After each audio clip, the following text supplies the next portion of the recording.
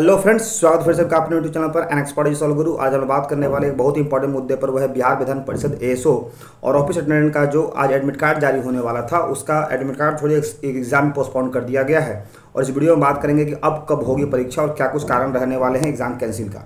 अभी आप लोग देख रहे होंगे, सामने हालाँकि मैं तो उस टाइम ऑफ़िस में था तो कहीं ना कहीं मैं इन चीज़ों से ज्ञात था, चूँकि कुछ डिपार्टमेंट वाइज जो होते हैं वो काम अलग अलग होते हैं। तो यहाँ पर सबसे पहले देखेंगे, ये अभी के समय में आज का जारी किया हुआ 18 तारीख को, यानी आज के डेट में एग्ज़ाम का जो है नोटिफिकेशन जारी किया गया था। क्या सभी अभ्यर्थियों को सूचित किया जाता है कि बिहार विधान परिषद सचिवालय के विज्ञापन संख्या दो और तीन चूँकि दो में जो हमारा था एसओ था और तीन में हमारा ऑफ़िस अटेंडेंट था, कि अंतर्गत रिक्त पदों पर सीधी भर्ती से पूर्व निर्धारित निम्नलिखित परीक्षा कार्यक्रम को अपरिहार्य कारणवश अगले आदेश तक स्थगित किया जाता है।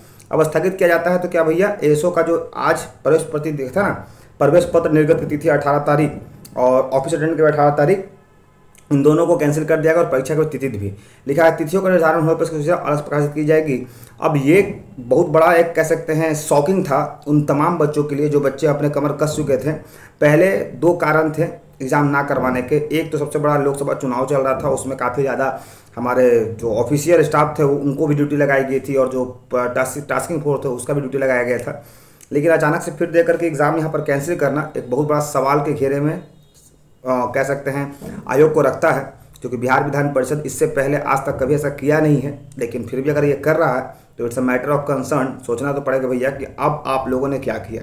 क्योंकि पहले ये मिलाकर के तीसरी बार एग्ज़ाम डेट कैंसिल हो जा रहा है, और तीसरी बार एग्ज़ाम डेट कैंसिल होने का मतलब है कि इस पर कहीं ना कहीं एक कह सकते हैं कमेंडेबल मोड में, निंदनीय मोड में इसकी हम लोग बात करेंगे, और हालाँकि इसका क्या कारण है, मैं आपको कल फाइनली बताऊँगा कारण क्या है, चूँकि कारण ज़ाहिर सी बात है बिना कारण के कुछ होता नहीं है। कहा जाता है there is a every action has equal and opposite reaction हर कारण का कोई ना कोई प्रभाव पड़ता है।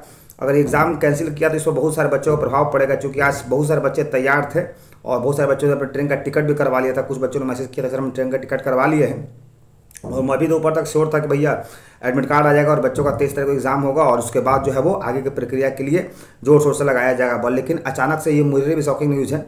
अब हालाँकि क्या कारण है ये तो डिपार्टमेंट के अंदर जा कर के पता चलेगा कि भैया किस क्लाउड से उसको रोका गया है। और फाइनली जो रोकने की बात आ रही है तो मैं उस पर थोड़ा फोकस करूँगा और आप लोगों को कल फाइनली बता दूँगा कि क्या कर रहा है, ठीक है? अभी तक का सबसे पहले अपडेट ये हो गया कि आप लोग का एग्ज़ाम कैंसिल हो गया।